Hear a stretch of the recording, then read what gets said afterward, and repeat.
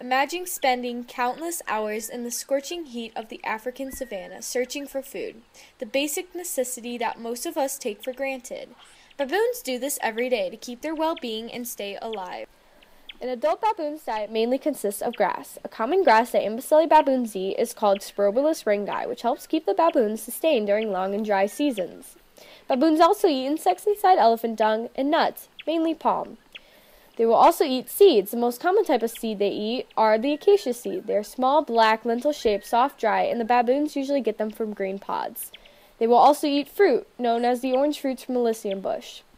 Baboons will also eat tree sap from fever trees, roots, herbs, blossoms, water, and bark. Because baboons are omnivores, they will occasionally eat meat. This includes birds, fish, shellfish, lizards, eggs, hares, vervet monkeys, rodents, and sometimes even larger animals such as antelope and sheep. Commonly, baboons will often eat human trash and food since they are scavengers, and they will eat whatever they find that's edible. Baboons are very adaptable to their environment, so if the environment changes, so will their diet. Baboons mainly try to find food high in proteins and lipids and low in fiber and potential contents.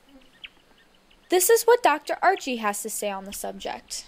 Some of their most common foods include grass, they eat the blades. They also will dig up the whole grass plant and eat the really nutritious growing part of the roots that's underground. They eat um, acacia pods. So acacias are those big feathery trees you can see in the background and they make pods that have seeds in them. They eat them when they're fresh. It's sort of like eating snow peas, I think.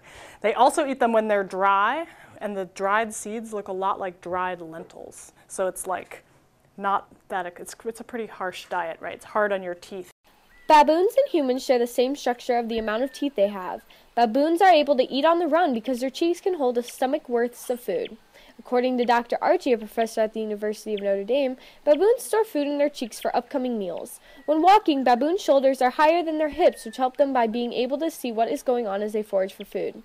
When feeding on the food the baboons forage, baboons stand on three of their limbs and use their remaining hand to pluck and eat the food. Why do baboons like elephant dung?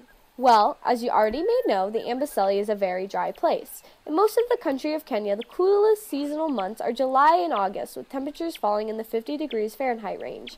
In February and March, temperatures can rise to 93 degrees Fahrenheit. This means that many animals, including baboons, have limited options to a fresh water source, and when they get the chance to get any drop of moisture, they'll take it. You might think that baboons' only source to get any type of moisture would be from a watering hole. But really, baboons have another way of receiving it. Baboons enjoy elephant dung. Elephant dung can be found all over, considering elephants roam the Amboseli with the baboons.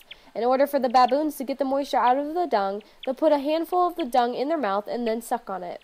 Since dung is usually wet, the baboons have a source of moisture to replace what would be water. But not only can you get moisture out of elephant dung, you may also get something to eat as well. Many times, flies and beetles will be on the dung because flies plant their eggs on it, and beetles are attracted to it to receive any leftover nutrients. When baboons cannot find water, they find liquid by digging up roots and tubers. In dry riverbeds, baboons dig holes to find water. They collect their water supply from rain, dew from plants, streams, and large bodies of water. Baboons can also drink the night dew on their fur for water. In conclusion, Amboseli baboons have a diverse diet. They eat anything from grass to antelopes to human food such as french fries, thus making Amboseli baboons very adaptable to their environment and perfectly suited for any change that crosses their path.